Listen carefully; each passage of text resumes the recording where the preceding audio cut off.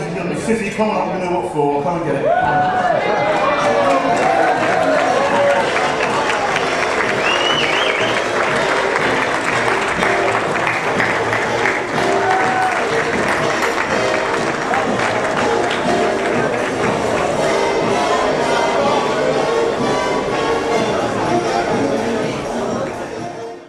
I'm with Ignacio Gutiérrez Orrantia, co-head of strategic coverage EMEA for Citigroup, and congratulations, Ignacio, on winning our top award, the most innovative investment bank of the year. Thank you, Brian. So, I mean, tell me a little bit about how Citi has triumphed. It's been a very difficult year for the banks, right? Absolutely, absolutely. No, thank you very much, first, Brian, and thank you, the banker, for this award.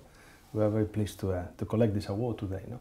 I think, uh, uh, in reality, the way we see innovation is as a must uh, for us. I think uh, the definition probably of innovation is a best solution Yes. for a, a new challenge. Right. And I cannot think of you know more challenging environment than the one we have now. Okay, so Uh, the more challenging the environment is, the more innovative you become. Absolutely, it's like a Darwinian concept, like the Okay. evolution of a species. I mean, the, the, either we innovate or we not succeed. Uh, so it's not only the clients; it's also us as a financing industry, the one that uh, need to also innovate. No? So All right, so tell us a little bit about aspects of that in particular. So, for example, in the project finance area, where Yeah. we also gave you the separate award. I mean, you know, and, and you did this great work uh, on in New York with LaGuardia Airport. Tell us a little bit about that. Yeah, absolutely, I think we're very proud. I mean, we uh, very rapidly saw that uh, infrastructure is a great asset class.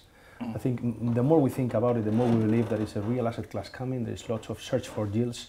Uh, investors are really looking into that, and it's a good place to deploy money. So we have really assembled a, a strong task force that, together with our uh, 100 country presence, which is something very difficult to replicate, uh, gives us a, a very strong foothold into the sector. And so, in particular, we've done uh, two or three transactions that are worth uh, mentioning. I mean, you mentioned LaGuardia Airport, which is a very good one, where we And, and that was the first public-private partnership, or was the largest? absolutely, the largest absolutely. No, I think it's uh, several several kind of uh, milestones that transaction. We work for Skanska and uh, and series of other investors there. Uh, and the reality is that we did uh, it was a 3.5 3.9 billion dollar investment there and we issued the largest tax exempt uh, bond ever for 2.4 billion uh, it was also the largest p3 project Okay. as you mentioned it's been the largest uh, infrastructure uh, project in an airport in the us ever so together with that, we just did the City uh, Mexico DF Airport Financing, which is the largest infrastructure bond for the emerging markets.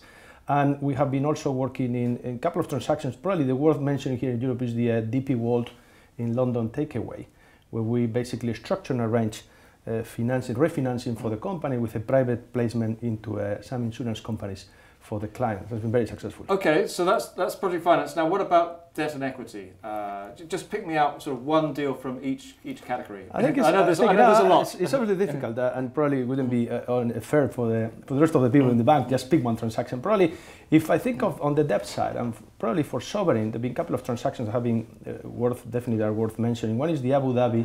Uh, first time that they've been Right. tapping the markets in seven years with a five billion bond in two tranches uh, with a, a huge demand, 20 billion, where we were and, acting. and there. then you did this deal for Argentina, where you brought them back into the Absolutely, capital markets. absolutely, Brian. That was a very important deal because after 15 years, uh, Argentina tapped the market. It's been the largest uh, sovereign emerging market bond ever, uh, and probably puts an end to a, a hugely contentious process with the government and some investors. Uh, and it was a huge demand, 70 billion for the country in that thing. So those two assets, those, those kind of transactions are very uh, kind of uh, All right. worth mentioning. And then, then, then, finally on the equity side, I mean, tell us a little bit this, about this first data deal because that was a huge deal. Yeah, absolutely. I think it's been the, the largest IPO uh, that we did last year, probably one year ago for First Data. Uh, we're very proud of, of that transaction.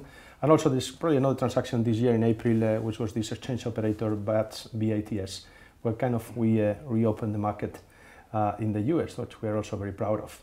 I think uh, those probably could be, you know, five or six Standout examples of things Okay. that we have done recently. Ignacio, thank you very much and have a great evening. Welcome. Thank you very much. Thank you, Brian. And we're very pleased to have this prize and award. Thanks a lot.